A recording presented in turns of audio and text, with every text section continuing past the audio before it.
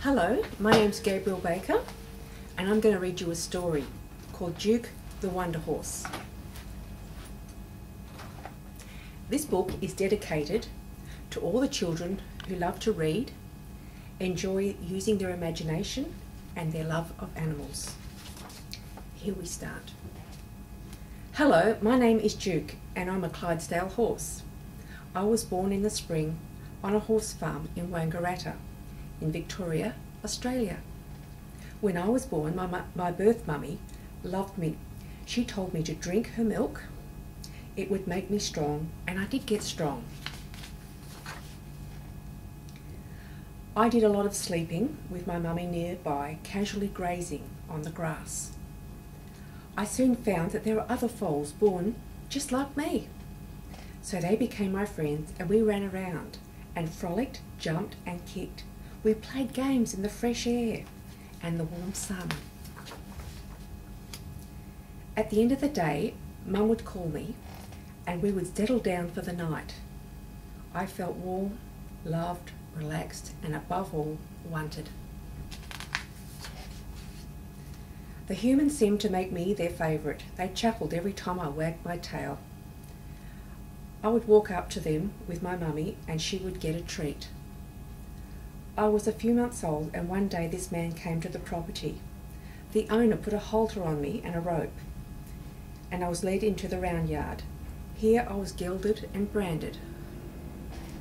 Oh, when I woke up, oh, it was so painful. It hurt. It was a horrible experience. I learnt not to trust the humans. They were awful. When I was free, I ran up to my mummy and I told her what had happened. She said, I know, it had to happen. It happens to all the male young horses. I said, but why, mummy, why? And mum said to me, because one day you'll be put up for sale. And I said, mummy, why can't I just stay here with you? I'll be no trouble. I'll be good.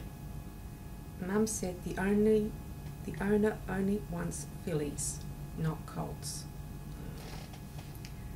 My mind wandered off and I forgot that conversation I had with Mum. I spent a number of months grazing on the grass and growing big and strong. I was regularly being groomed. That was always nice. It was like having a massage and I got rid of all the itches having my hooves cleaned and trimmed, and being handled and led with a halter, and the owner and I would go for a walk around the property.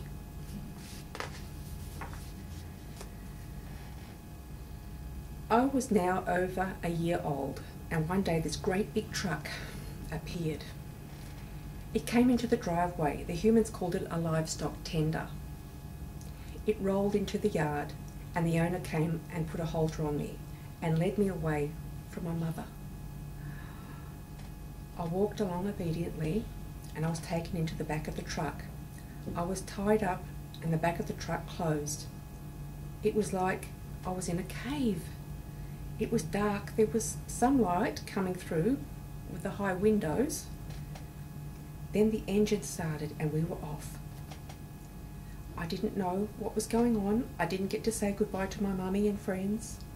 I was leaving them all. I was on my own. This is what my mummy tried to tell me about. Oh, I wish I had have listened. I don't know how long it was. We stopped a couple of times and picked up other horses. They didn't seem to want to talk. I tried to be friendly. I tried to start a conversation with them. I told them that I was Duke and I was going somewhere. I didn't know where exactly. The truck finally stopped and the door was opened. Oh, I felt all washed out, tired and worried. The driver came and led me out onto the grass. I looked around and realised it was a horse farm. I'm back home. I called out to my mummy and friends. Nobody answered. Well, nobody that I knew. But this wasn't home. It was somewhere else. Somewhere I had never been before. There was new smells, new noises, nothing that was familiar. I kept calling out. I was crying. I knew nobody. I started to panic. This lady came up to me and led me with a robe and started to talk to me. She was very calm. I didn't care, so I pulled away from her. You're not my mummy, and this place is not my home, and I don't want to be here. The truck pulled away and left the property. Now I couldn't go home even if I wanted to. The lady kept persisting and kept talking to me. She led me into a small yard and started to groom me. She offered me some food. It was hay. I couldn't eat. I was too upset. I needed to drink. I was hot and tired. I had a heavy heart of despair. I had so much to deal with. During the day, there was a lot of comings and goings. This property seemed to be alive with activity. I found out the lady's name was Gabby, and she kept coming into my yard talking to me. She had a nice voice. On one of her visits, a black dog appeared by her side. Gabby introduced him. His name is Sam. Sam is a black miniature schnauzer. Upon Sam's visit, he showed his natural character. He has a curl in his tail and a cute black face. Duke noticed how Sam was inquisitive, boisterous, and energetic. He never seemed to leave Gabby's side. He was her faithful companion. For a moment, I started to think that dog has a mummy who loves him. How nice that is. Will I find a mummy who will love me? Duke was later to learn wherever there was trouble or mischief, Sam wasn't too far away from the problem. Sam was the self appointed chief security.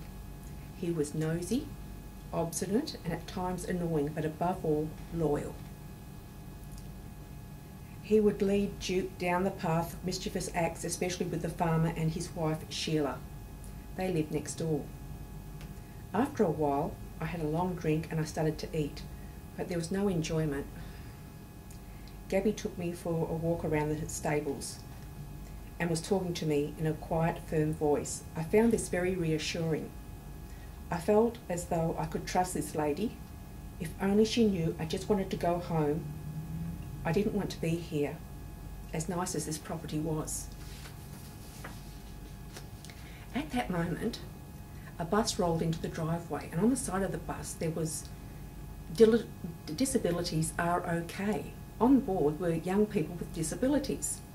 They came for a visit. They heard Gabby was getting a new horse and were eager to meet Duke. Gabby welcomed them they were regular visitors to the stables. Sam appeared out of nowhere. He was a natural entertainer, bringing his ball for the young people to throw. Sam would retrieve it and bring it back, dancing and strutting around. Duke stood there and hesitated for a moment and then put his nose out. He sensed there was no danger and continued to offer himself for their approval. The young people were happy. They put their hands out on to touch him and to pat him. They laughed and they cried with delight. Duke was a hit. He sensed they had to be treated with care. And he had to be careful and gentle. He also sensed they wanted to be treated like everybody else. It wasn't that difficult. He wanted the same to go home and be loved and wanted. He stayed with them for a while. Gabby brought out some apples, bread, and carrots for the visitors to feed Duke. The visit was a success. The young people were in awe with this wonderment, feeling of happiness, and laughing. Duke was starting to eat. He enjoyed being the centre of attention. He seemed to be distracted from his present predicament. He started to relax. The afternoon, the afternoon moved on, and it was time for them to leave. Gabby was watching, and it was like a symphony in action. It was therapeutic. She saw a very gentle Duke interacting with people he didn't know and treating them with respect.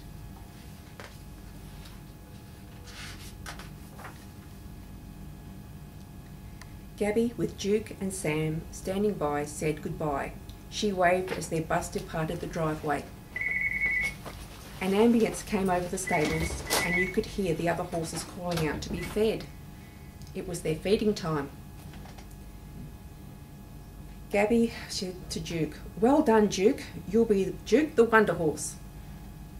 Come on, Duke. I'll take you to your stable and I'll make you a special feed just for you. Gabby gave him a kiss and a pat. She was so proud of him. When Duke got his feed that night, he knew it was something nice. He could smell it. The feed had chaff, pellets, and some molasses. Yum. There was also some fresh hay. It was all very tasty. Duke ate eagerly. He was very hungry. It had been a long day with a lot of emotion. The sun went down over the property and stables, and darkness settled in. There was a full moon that night. The moon ascended with its radiance up into the night sky.